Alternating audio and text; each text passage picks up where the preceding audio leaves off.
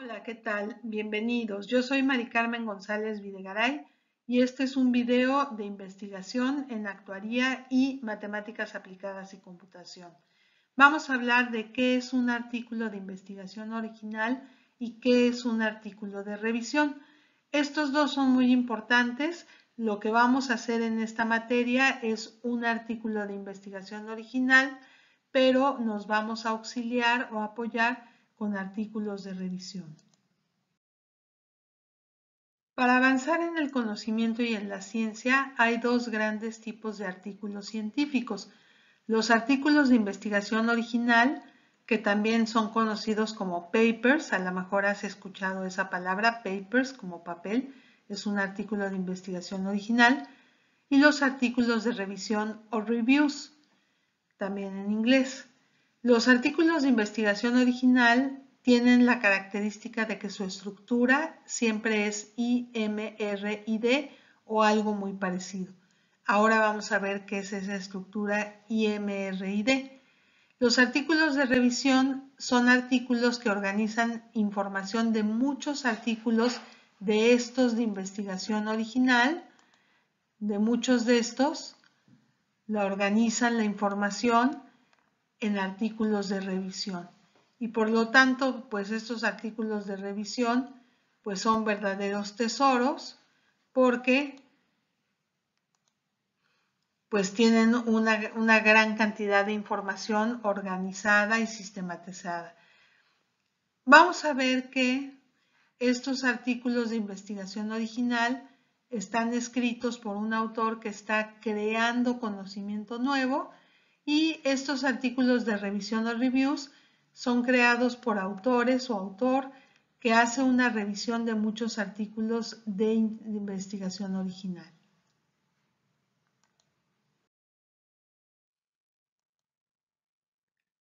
Los artículos científicos son lo que llamamos fuentes primarias. ¿Por qué son fuentes primarias? Porque vamos a, leer directamente al autor que generó el conocimiento. En cambio, los artículos de revisión son fuentes secundarias porque son artículos que a su vez toman como fuente a los artículos de investigación original.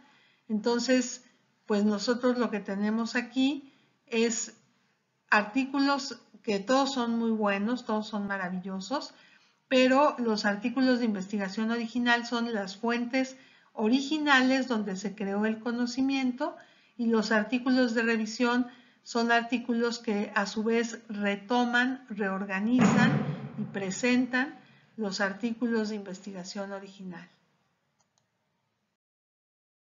¿Qué es esto de la estructura IMRID? Bueno, vamos a verlo con calma. Un artículo tiene siempre un título. Ese título tiene que ser algo que refleje claramente el contenido del artículo y que nos ayude a ver si ese artículo vale la pena que lo leamos o no. Un artículo tiene siempre un resumen, que quiere decir que vamos a tener más o menos en 200 palabras un mini paper o un mini artículo que nos va a reflejar el contenido de todo lo demás. Esto sirve para que, bueno, una vez que nos interesó el título, Veamos con el resumen si nos interesa leer todo el artículo completo o no. Después viene la introducción, que es esta I. En la introducción vamos a hablar de varias cosas, por ejemplo, identificar el área o el contexto y establecer su importancia. Entonces, si yo voy a hablar, por ejemplo, de la educación superior en el momento de la pandemia del COVID, puedo establecer la importancia de hablar de la educación superior en estos momentos. Después vamos a hacer la revisión de la literatura. Este es un proceso muy, muy importante que nos va a llevar bastante tiempo y que vamos a aprender a hacer con mucho cuidado. ¿Qué significa revisar la literatura? Significa que estemos seguros de estar parados en la frontera del conocimiento, es decir, que nosotros estemos conscientes de todo lo que se ha escrito alrededor del tema que nos interesa. Eso lo vamos a aprender a hacer con mucho cuidado.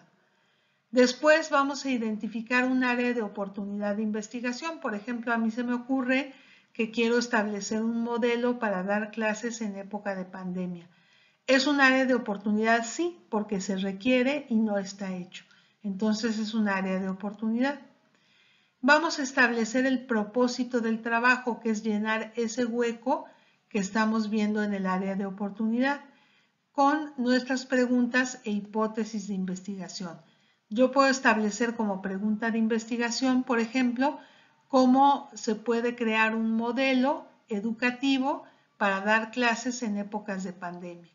Y puedo establecer una hipótesis. A lo mejor mi hipótesis es que los videos pueden funcionar bien. Esa es una hipótesis. Después viene la sección de material y métodos. ¿Cómo voy a contestar a la pregunta de investigación? ¿Cómo voy a probar si la hipótesis es cierta? Eso lo voy a hacer con material y métodos. ¿Qué voy a hacer? A lo mejor voy a generar un modelo educativo, lo voy a probar y voy a revisar las calificaciones de los alumnos. O a lo mejor voy a hacerles una encuesta para ver qué les parece ese método. Eso va en material y método. Después viene la sección que yo digo que es el corazón del artículo, que son los resultados. ¿Por qué? Porque los resultados es lo que yo voy a encontrar que es nuevo y que está aportando conocimiento a la humanidad. ¿Funcionó mi modelo educativo o no funcionó mi modelo educativo? Ahí estoy avanzando el conocimiento de la humanidad. Y terminamos con la parte más sabrosa, que es la discusión. En la discusión tenemos básicamente por qué los resultados salieron como salieron, cómo se comparan los resultados con los de otros investigadores, cuáles fueron los hallazgos principales, cuáles son los, los, limitantes y las investigaciones futuras que se pueden hacer a partir de mi trabajo. Aquí tienen ustedes I, M, R y D que es la estructura. En la discusión vamos a hacer el contraste de resultados contra preguntas e hipótesis. Vamos a hacer el contraste contra resultados de otros autores. Vamos a ver las implicaciones para el área de conocimiento y vamos a ver las implicaciones que tiene de mayor amplitud, cómo podemos generalizar nuestros resultados para terminar con las limitaciones e investigaciones futuras.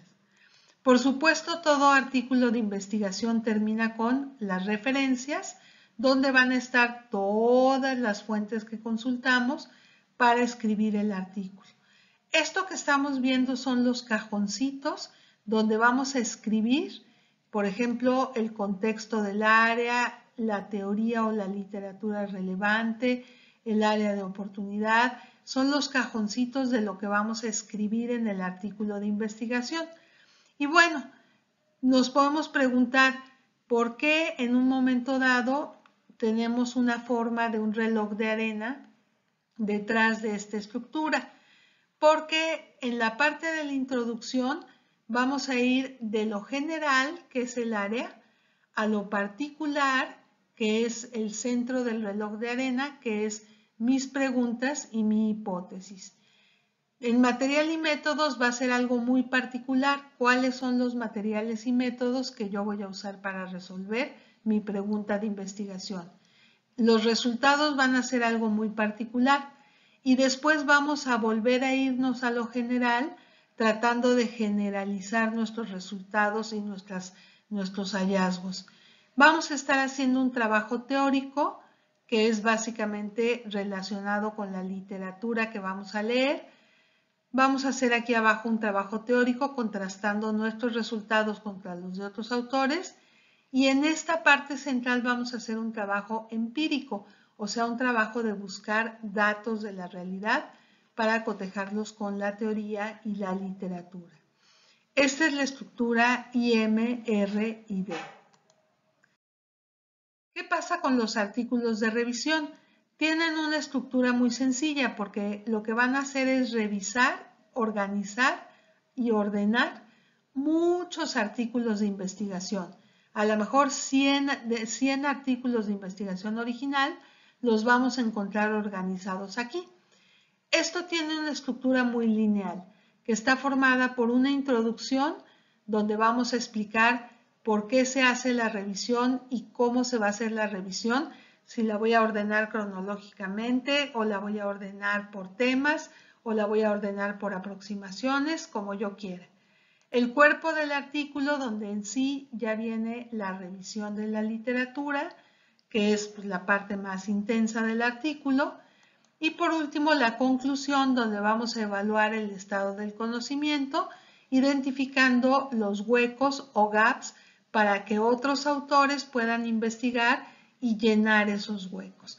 Entonces, estos son los dos grandes tipos de investigación que se hacen de manera escrita y que vamos a encontrar en las revistas de investigación o journals.